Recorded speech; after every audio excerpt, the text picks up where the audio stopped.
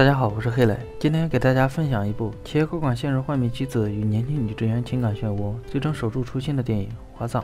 郑硕是一家化妆品公司的 CEO，在他的带领下，公司业绩一路飙升，员工都将他视为偶像。如此优秀的他，还有一个幸福的家庭，妻子温柔贤惠，儿女孝顺懂事，以及一条可爱的宠物狗，也给一家人带来了很多欢乐。直到有天，妻子患上脑癌，需要住院接受化疗。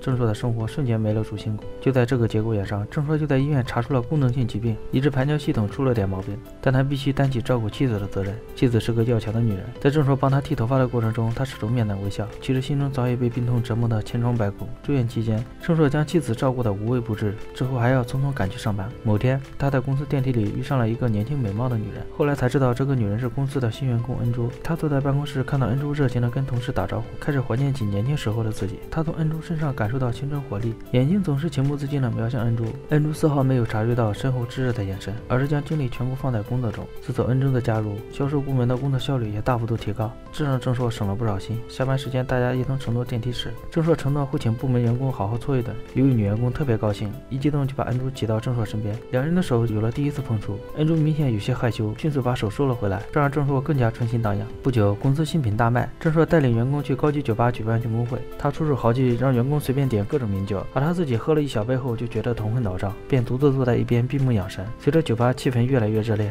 恩珠就在舞池里尽情摇摆。郑硕隐约中看到了恩珠前凸后翘的身材，竟产生了前所未有的冲动感。庆功会结束后，恩珠将一瓶低度红酒送给郑硕，希望他能好好注意身体。顿时一股暖意抚慰了郑硕疲惫的心灵。在车子启动时，他不自觉地望向后车窗，看到了恩珠在对自己微笑，就请求出租车司机返回酒吧。可酒吧门口空无一人，而他的心绪已被恩珠搅乱。眼前还是会出现恩珠的幻影，他甚至专门守候在公交站，期待跟恩珠来一次浪漫的偶遇。遗憾的是，郑硕没能等到恩珠，一切只是他的单相思而已。第二天，因为客户的一个小投诉。恩珠就遭到郑硕劈头盖脸的一顿臭骂。好在郑硕接到医院打来的电话，才结束这场别的会。恩珠的泪水落在手指上，他觉得自己没有做错什么，就一直留在办公室等待郑硕为自己讨个说法。时间过得很快，一晃就到了大半夜。安顿好妻子的郑硕躺在病房的地板上辗转反侧，难以入睡。当他从同事的来电中得知恩珠还在办公室等待自己的事情后，就赶紧回到公司，以诚恳的态度向恩珠道歉，还授予他前往加工厂拍照取证的特权。此后，两人关系好了很多。郑硕还会等在工厂门口给恩珠带点零食，陪她一起散步。但生活是残酷的，也没有那么多时间去花前月下。郑硕回到医院，还要给妻子换上干净的尿不湿，帮他清理身上的污秽物。向来坚强的妻子已经没了生活自理的能力，他抱着郑硕放声大哭。郑硕只能不停地安慰妻子。一夜过后，郑硕得知恩珠的婚讯，就故作镇定，还直接给恩珠随了礼钱，并以出差为借口拒绝了恩珠的婚宴邀请。之后，他请来小姨子帮忙照顾妻子，自己去看了一场公司举办的舞蹈表演。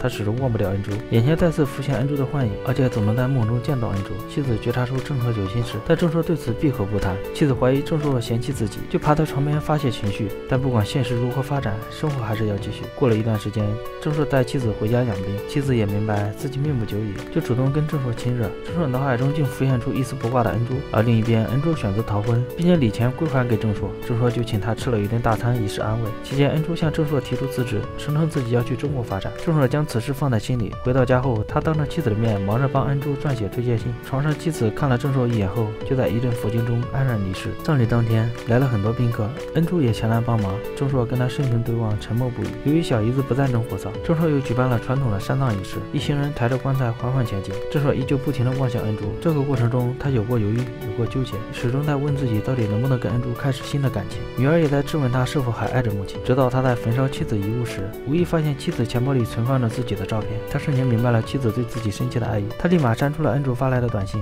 恩珠却终于。感受到了郑硕对自己的好感，他主动给郑硕寄了一箱红酒，还专门去找郑硕。对恩珠的突然造访，郑硕选择故意躲避，也不愿意接恩珠打来的电话。恩珠瞬间明白了郑硕的意思，一阵失落过后，他开车离开，途中遇到郑硕也没有停车，两人从此互不打扰，互不相欠。最后，郑硕将妻子的爱犬带到医院进行安乐死，他希望狗狗的灵魂能陪伴妻子，让妻子不再孤单。离开医院，他在接到一个电话后就匆匆赶往公司，生活又如往常般忙忙碌碌。影片结束，郑硕在人到中年时经历了丧妻。之痛，但他终究没有背叛妻子，而是更加用心的生活，就如现实中的你我他一样。不管遇到何种不堪，只要坚守原则，就不会被卷入永无止境的欲望中。好了，喜欢我视频的朋友，帮忙关注、评论、转发，咱们下期再见，拜拜。